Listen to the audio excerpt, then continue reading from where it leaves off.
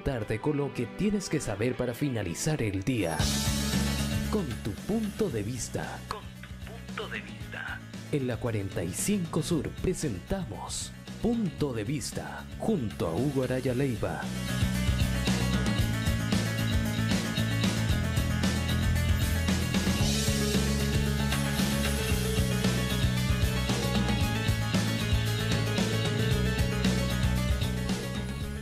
Muy buenas tardes, bienvenidos y bienvenidas. Como siempre, un placer reunirnos para conversar de la contingencia.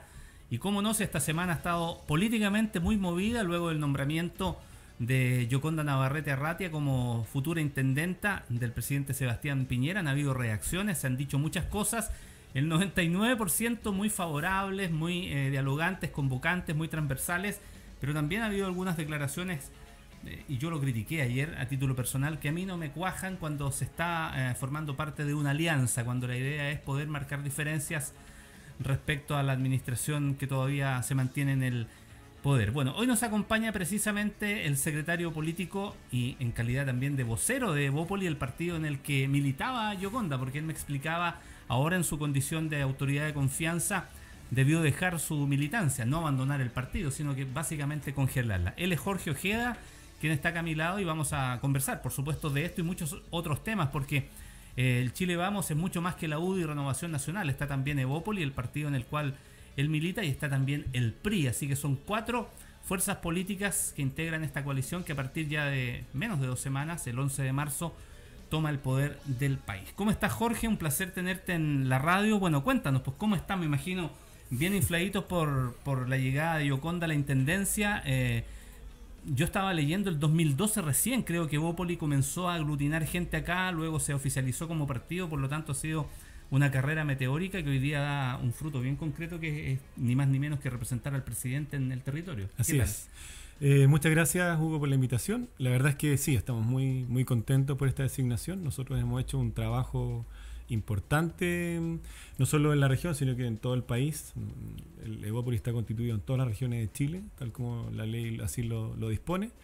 Y bueno, estamos contentos, estamos muy esperanzados, tenemos un trabajo muy importante por delante y, no nos cabe la menor duda de que Yoconda Navarrete, nuestra actual presidenta todavía de Evópolis, va a estar a la altura de las circunstancias. Perfecto. Yo leía eh, ayer precisamente un tema valórico vinculado a los temas que hoy día la ciudadanía instala y en Evópoli no hay posturas como muy talibanescas, como yo las digo, respecto a temas denominados valóricos. Particularmente el partido está poniendo en la mesa de discusión el tema de la eutanasia y otros temas que son tremendamente emergentes y sobre todo importantes para las generaciones más jóvenes.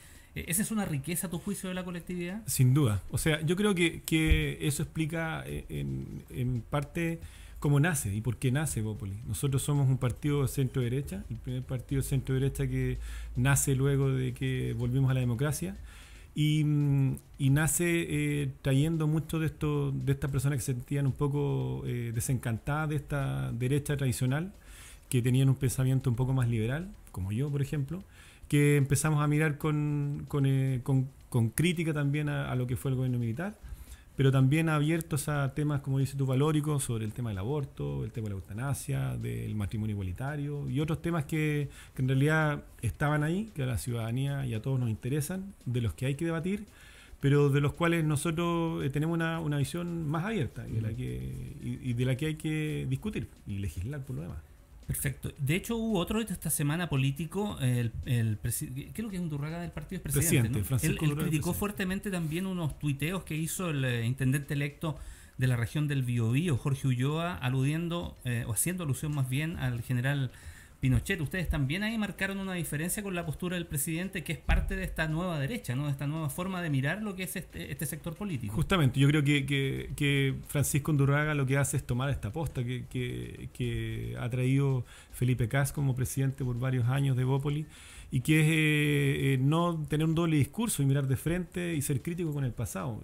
Eh, llamar a la dictadura lo que fue dictadura y, ponerle los nombres que corresponden a las cosas. Entonces, compartimos las opiniones vertidas por Francisco Honduraga. Creo que está, estamos totalmente de acuerdo con lo que él dice. Perfecto. Esta nueva centro derecha en la cual se instala hoy día Evópoli, ¿es inclusiva, Jorge? ¿Tiene cabida para gente que tal vez está un poco desarraigada de la política tradicional. ¿Dónde ustedes pondrían los énfasis en el, en el sentido de seducir a la gente que está como en la búsqueda de algún referente político? O sea, sin o sea, creo que Francisco Undurraga es uno de los mejores ejemplos de lo que nosotros llamamos inclusión. Francisco es una persona que nació con una discapacidad y, de, y que es más capacitado que varias personas que, parece capacitada. Entonces, eh, nosotros sí llevamos el tema de la inclusión como una bandera de lucha, eh, de quienes, la voz de, quienes no tienen voz, los niños, los adultos mayores, y por eso es que hemos logrado capturar a esta gente que, y, que es común y corriente, como uno. De hecho, muchas de las personas que me escuchan, que me ven, de pronto no me habían visto vinculada a la política. Y es porque nos sentimos seducidos por esto, por el dejar de ser este este crítico de, red social y decir un día, no, pues yo quiero ser parte de esto, quiero cambiar las cosas desde adentro, que es donde yo creo que se hacen las cosas. O sea, con un tweet, con un me gusta, con un comentario en, alguna red social, yo no voy a generar mucho. Entonces yo creo que uno tiene que salir de ahí, dar un paso al frente, tomar estas banderas y, y tratar de hacer los cambios, pero desde adentro. Perfecto. Hoy día en política hay un, hay un espacio bien interesante porque la gente que estuvo en algún momento vinculada a mm, la ex senadora Lili Pérez en amplitud, entiendo, gente que estuvo en Ciudadano y que también como que se reacomodó en el escenario o en el abanico político, también se siente un poco atraído por, por el pensamiento y por las ideas de Bópoli. ¿Qué cabida tiene esa gente para tal vez refundar, no el Chile Vamos, pero sí tal vez un partido donde vengan vertientes de estos dos movimientos?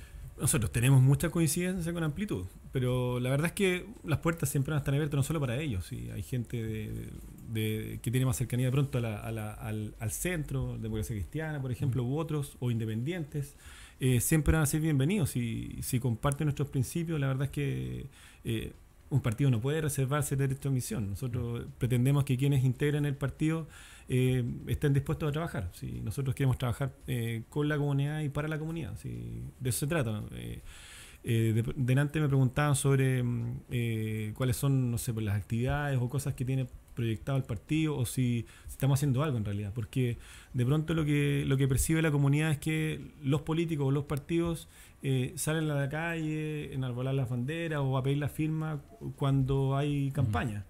La verdad es que nosotros eh, hacemos un trabajo que de pronto es, silencioso, pero es un trabajo constante. Hace dos semanas, sin ir más allá, tuvimos una actividad donde logramos reclutar cerca de 14 nuevos militantes en un periodo que no es de campaña, pero que habla de que nosotros sí tenemos un trabajo constante en, nuestras bases, que es donde, donde en realidad nosotros sí queremos hacer el cambio traer gente del mundo independiente con ideas, que ganas de trabajar, que si quieren, tienen la, la, vocación de ser candidatos, también incorporarlo. La verdad es que las puertas están abiertas para cualquiera que se sienta convocado con nuestros principios. Jorge, eh, te voy a hacer una pregunta tal vez difícil de responder, pero que me imagino que desde lo que es el partido ustedes tienen bastante claro por qué fue así. ¿Qué crees tú que llevó al presidente Piñera a fijarse en Yoconda y finalmente a decidirse por Yoconda Navarrete en este abanico tan amplio y en esta presión tan fuerte de los partidos más tradicionales y antiguos de Chile Vamos como la UDI y Renovación Nacional? Claro. Más aún pensando que acá a Piñera no le fue bien, o sea, acá ganó la, Tenemos una tarea muy importante. Sí. La verdad es que, eh, como dices tú, es difícil porque es parte de la especulación lo que uno puede, puede pensar, pero yo creo que eh, eh, el presidente tiene que haber reconocido lo que ha sido la carrera de, de Yoconda Navarrete, primero como funcionaria pública, son más de 26 años como funcionaria pública, eh, trabajando en servicios muy estratégicos. Ella fue Seremi de Desarrollo Social cuatro años, se mantuvo los cuatro años en su cargo, ha sido dos veces candidata, una vez candidata, luego otra vez precandidata, ha sido parte de la fundación de Bópoli, es una persona, eh, una mujer de familia, común y corriente, que, que como dice su eslogan, hagamos la pega, a ella le gusta andar en la calle, eh, tiene este componente social muy arraigado, ella es... Eh, asistente social de profesión y tiene este componente social que, que, la verdad es que es parte de su ADN. Creo que por ahí el presidente tiene que haber tomado todo, todo este mix de cosas y, y, eso debe haber sido, y espero que haya sido así, lo que a él le llevó a tomar la decisión. Eh, yo la conozco a Yoconda, es mi amiga, le tengo mucho cariño y creo que, que no se equivocó el presidente en elegir a la mejor. Perfecto. Vamos ahora al área chica. Eh, hoy día, si uno lee lo que han dicho los consejeros electos de RN, lo que ha dicho Eligio Montesinos, militante antiguo de la UDI, lo que ha dicho Oscar eh, Catalán, militante antiguo y controversial de la UDI, eh, lo que ha dicho gente vinculada al PRI, todos como que muy bien por Yoconda, que bueno, le deseamos suerte, éxito. Y uno esperaría lo mismo de un parlamentario en ejercicio que lo primero que dice es no la conozco personalmente ni su trabajo, lo dijo el diputado y senador electo David Sandoval. ¿Cómo recibieron como partido o en lo personal em, esas declaraciones que claramente yo las califiqué ayer y me, hice cargo? Eh, yo creo que en política las señales tienen que ir por otro lado, no, no, no por ningunear a una persona que ni siquiera todavía se, se instala en su cargo. ¿Qué opinan ustedes como Evópoli de lo que pasó con Sandoval? La verdad es que em, no quiero calificar las opiniones del senador electo, el señor Sandoval.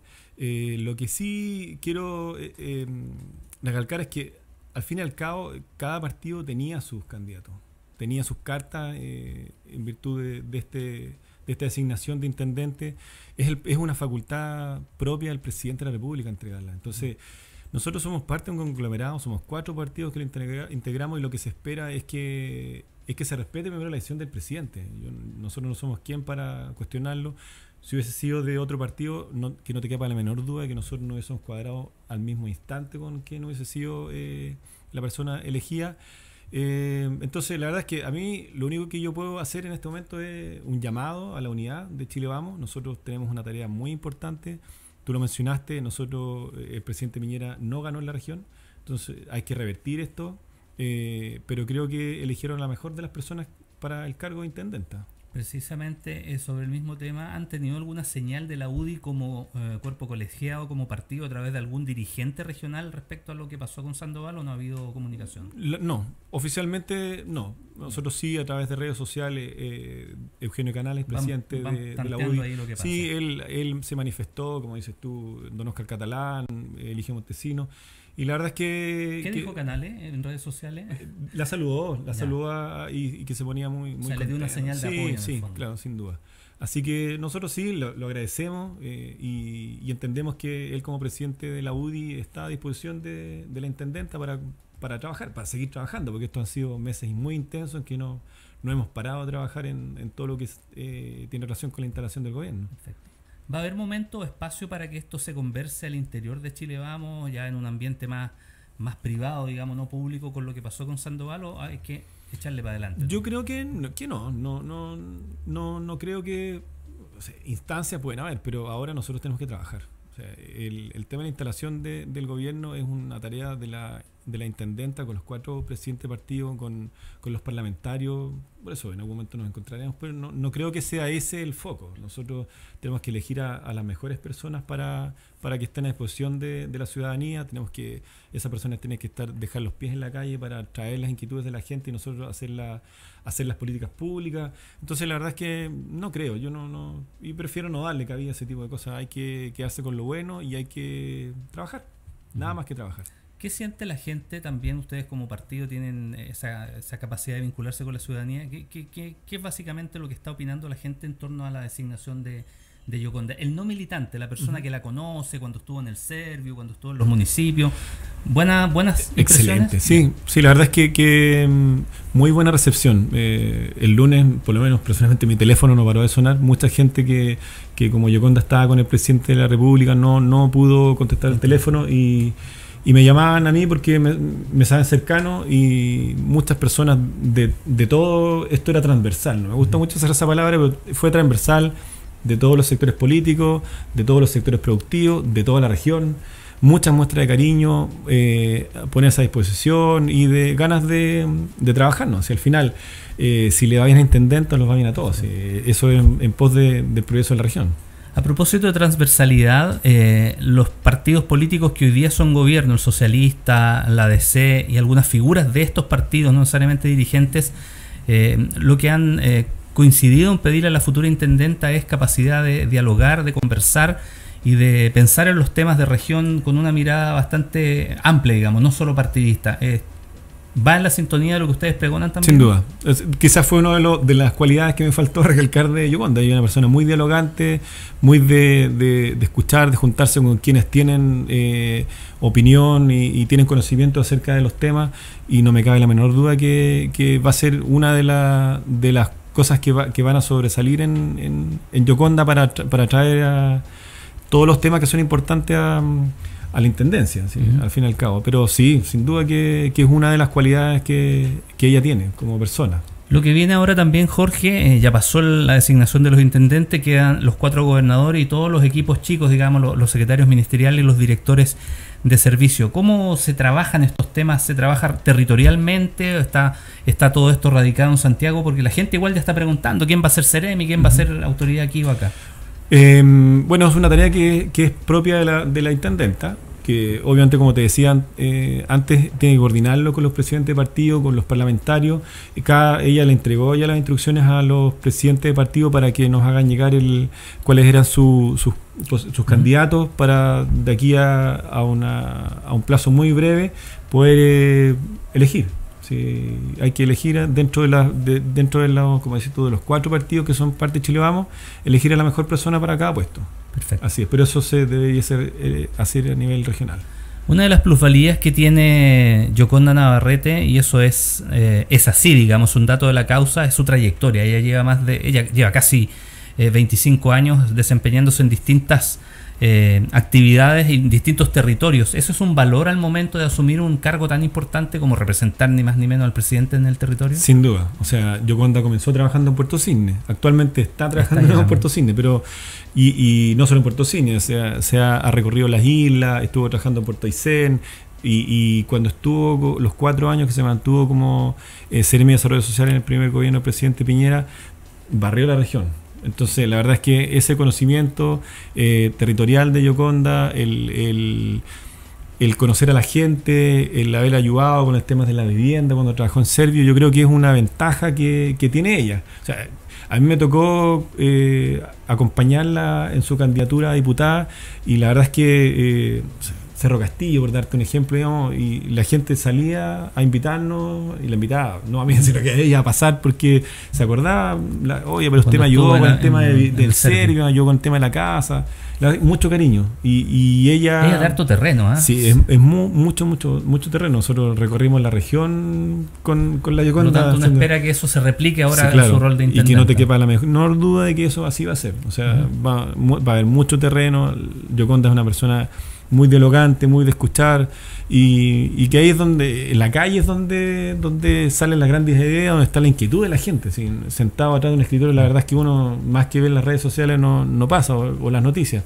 Es en la calle donde uno escucha el clamor de la gente, las necesidades y todos los temas están instalados en la calle. Ahí es donde tiene que la intendente desarrollar su tarea.